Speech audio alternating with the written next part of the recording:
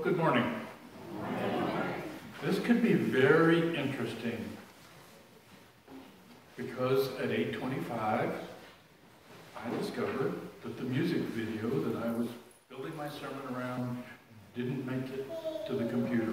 So you may see something that's a little bit raw.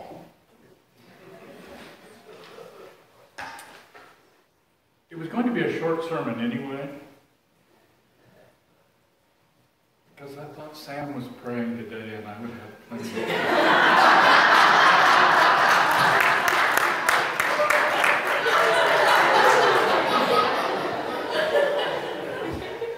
Our virtue for the month of February is love.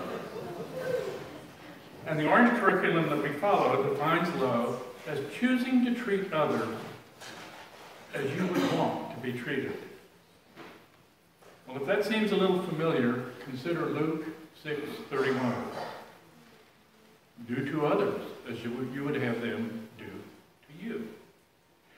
So by this definition, the virtue of love is just the golden rule with choosing put in front of it. And that doesn't feel much like a definition of love to me. The maximum of reciprocity, the philosophical name for the golden rule, has been around in its negative form since the earliest writings. That which you hate to have done to you, do not do to another. The first written record of the rule in positive form is in Leviticus 9:18. Love your neighbor as yourself. I am the Lord. Christ combined this, Deuteronomy 6:5, to give his answer to the Pharisees in Matthew 22:37. Love the Lord your God with all your heart, and with all your soul, and with all your mind. This is the first and greatest commandment. And the second is like it. Love your neighbor as yourself. So there's no way that this new orange definition has helped me to understand love.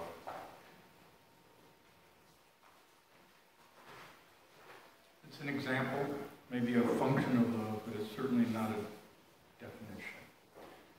And you know, if I'm up here, there's going to be a science part of the lesson. I'm sorry, here it is. Advances in neuroscience since the invention of the functional MRI have shown centuries of teaching about the brain to be wrong. Essentially, everything I was ever taught about emotions has been debunked in the last 15 years. Feelings are not universal. Feelings are not inherited. Feelings are not the same in different species. There is not a specific part of the brain associated with a particular emotion. For example, anger is not from the amygdala. The universal facial expressions attributed to people and animals, especially dogs, do not correlate with MRI imaging findings. The interrogation techniques taught in the military and law enforcement cannot be validated by this technology. What is known now is that feelings are created in the brain using most, if not all of the brain, in an unconscious or preconscious level. They are part of a brain system called interoception. None of you needs to remember that. Turned on at birth and turned off at death. And they all occur outside of conscious awareness.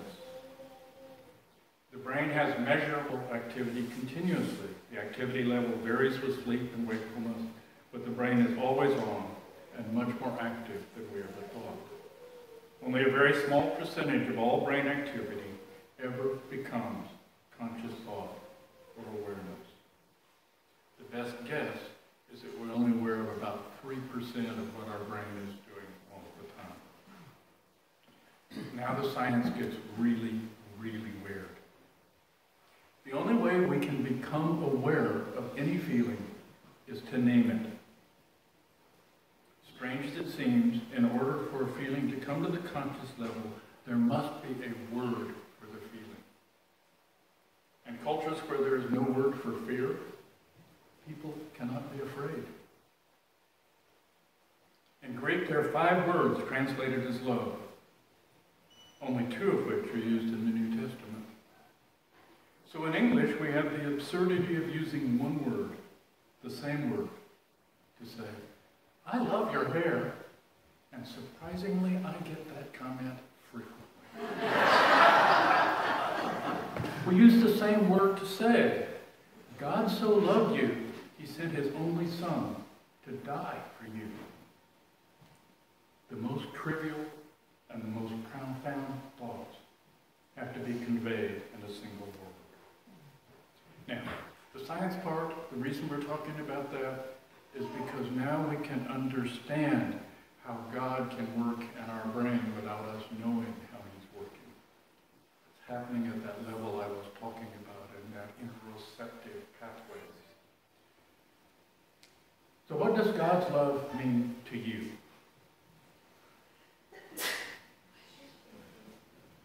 It's something different for each one of us because our unique life experiences are processed by our unique brains. As we gain understanding, God's love becomes richer and fuller. And today we're going to consider time as love. And this is where you were supposed to see Josh Turner's song, Time is Love. It was Billboard's number one country song of 2012, a platinum record. Our culture is capable of understanding universal truth. It is capable of understanding the concept that time is love. For second service, at least I'm going to be able to print the lyrics, so I'll be able to talk more better. But this is where I take a big, deep breath and wonder what I'm going to talk about next. In today's scripture, both Martha and Mary are really busy. Martha opens her home to the Lord, providing the hospitality expected of first century Christians. That takes work and time to prepare and serve, while still being attentive to her guest. Martha appears to the Lord to be worried and upset. She especially wants Mary to help her, to be like her, to do the same work she's doing. She goes to the Lord, seeking his affirmation, and is gently rebuked. Martha's distraction has caused her to be rude to her guest, not just by being distracted by Mary's behavior, but by sharing her worry with her guest. Mary is spending time with the Lord, sitting at his feet, listening. She has assumed the role of student, sitting at the feet of the rabbi. Unusual, only because this is first century Israel, and women didn't sit at the feet of rabbis and learn. This is the passage that has really been used Jesus bringing women into the church. They just didn't get there before. The tasks of both women are important in the service of the Lord. We must be busy in his service, but not so busy if we have no time to listen to him or for him. Time spent in service is important, for faith without works is dead. But Martha's distraction precludes gracious attention to her guest. Her worry and her distraction keep her from being present with Jesus as she serves him. Mary is spending the time to develop a personal relationship with Christ. Mary has chosen what Christ says is better and will not be taken from her. From this, we learn that hospitality, and by inference service, is important, but must be rooted in relationship with Christ. Both of them are time expressions of love. So where does all this love come from? I have loved you with an everlasting love. I have drawn you with unfailing kindness. Jeremiah 31, 3. Give thanks to the Lord, for he is good. His love endures forever. Psalm 136, 1. Followed by 25 more stanzas that end, his love endures forever. We love because he first loved us. 1 John 4.19. God is love. Whoever lives in love lives in God, and God in them. 1 John 4.16. In fact, all of 1 John pretty Scripture kind of, sort of tells me that love comes from God. That there is no other source. And how do we get that love? Well, you have to make two choices. First, you have to choose Christ as your Lord and Savior. And then you have to allow the Holy Spirit into your heart. God does the rest. God's love has been poured out into our hearts through the Holy Spirit, who has been given to us. Romans 5 5. This love is a gift. It's not something you earned. You chose it, but you didn't earn it. It is supernatural. It gets incorporated into our unconscious brain and becomes part of our interoceptive system. What we learn in His presence is the love that we can share. And in the second service, hymn is going to be the gift of love. And in verse 3 that says it well. Come, Spirit, come, our hearts control. Our spirits long to be made whole. Let inward love guide every deed. By this we worship and are free. What God has freely given us, we return to him and share with our neighbor.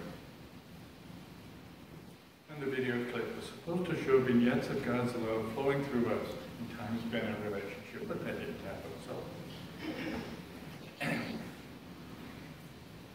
time in the presence of the Lord, whether in scripture, prayer, meditation, or worship, enables our transformation as children of God to allow His love to flow through us. We can choose to spend time to learn that love. We can choose to spend time with others to pass that love along. We can choose to treat others the way that we wish to be treated. So I ask you what God's love means to you. I suppose it's only fair that I should answer what God's love means to me today. It's not the same as yesterday, nor is it likely to be the same tomorrow. It continues to be molded by my subconscious and my conscious brain into devotional practices. Our spiritual journeys are usually strolls through life rather than sprints.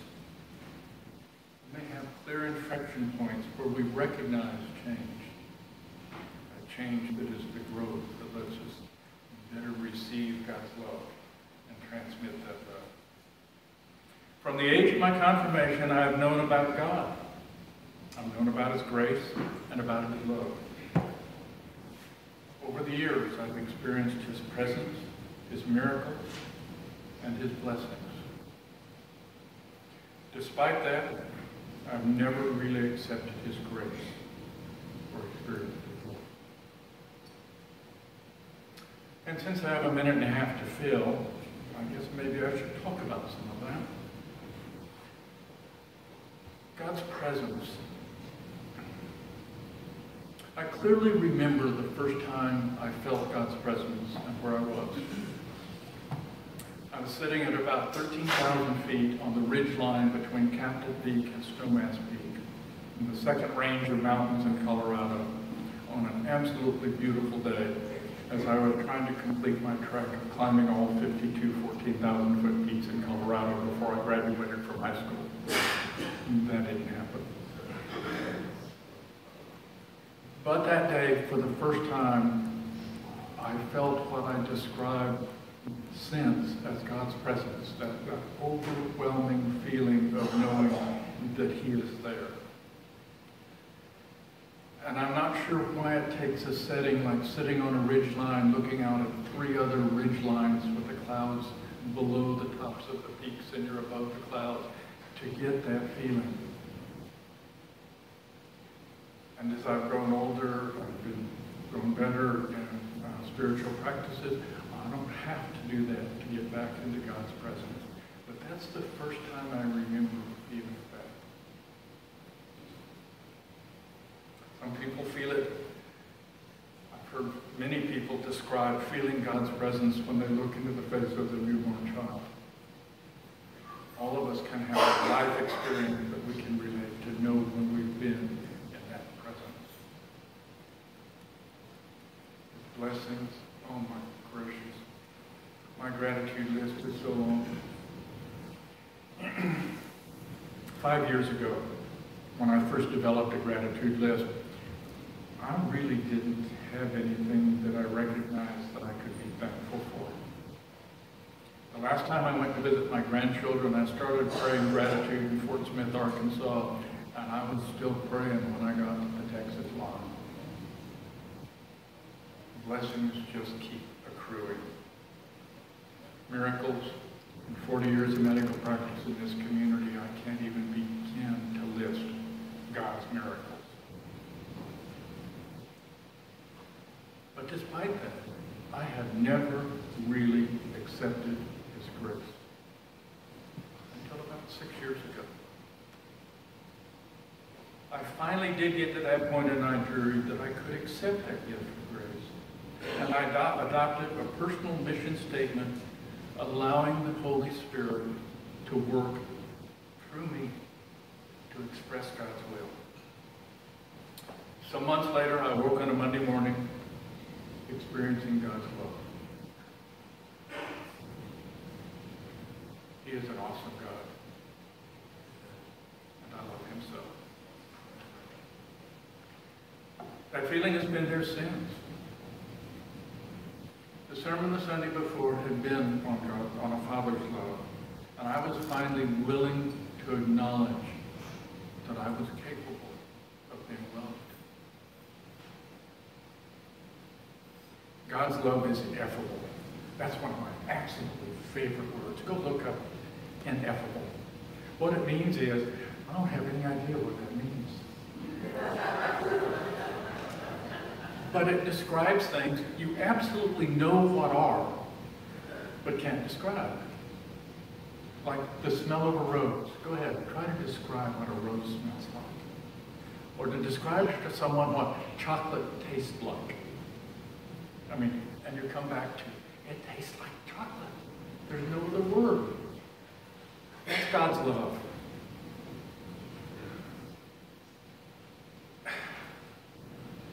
The feeling includes bunches of stuff. It includes an overwhelming sense of peace and serenity. It includes profound joy it includes forgiveness and acceptance. And it includes humility, finally realizing who I am in God's world. Any one of them. And at the same time, it's all of them. It's like taking the essence of everything pure and distilling it into a single thought. It is supernatural. It's a gift of the Spirit, and it is mine to share. Time in the presence of the Lord, whether in Scripture,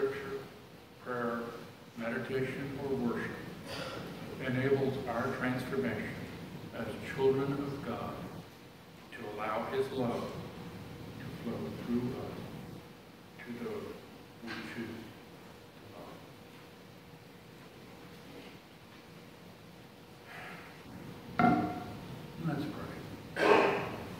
Oh, gracious Heavenly Father, you are awesome, and we love you so. We thank you for your existence, for your presence, and for your choice to be interventional in our lives. We thank you for the gift of your Son, our Lord and Savior. We thank you for the gift of your Holy Spirit, and through her, the gift of love. We thank you for yet another day to enjoy the glorious creation. We pray today that we may be mindful of your presence and that we may allow your Holy Spirit to flow through us to express your love and your will. Through us, may your love fill the world. In Christ's holy name we pray.